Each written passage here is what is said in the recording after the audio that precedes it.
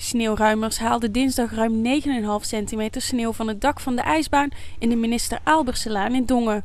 Volgens André Vonk van Dongenijs was er geen reden tot gevaar. De constructie van het dak van de voormalige fabriekshal waarin de ijsbaan is aangelegd is berekend op 28 centimeter sneeuw. Maar de organisatie hield een ruime marge aan omdat het dak op bepaalde plekken wat zwakker kan zijn.